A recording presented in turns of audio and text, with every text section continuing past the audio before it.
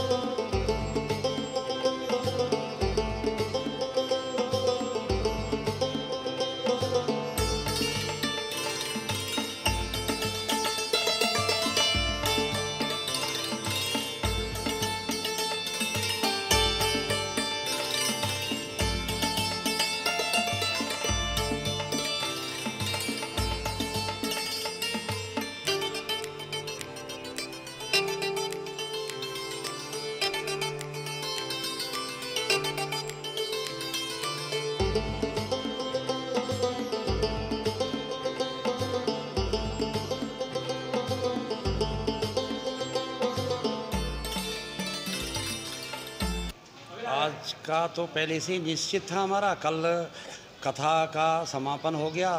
कल जो है कथा का विश्राम हुआ और आज हवन हुआ सुबह, फिर उसके बाद भंडारा चल रहा है इस समय और भंडारे में जो समिति के लोग हैं और ट्रस्ट के लोग हैं सबने मिलकर व्यवस्था की है।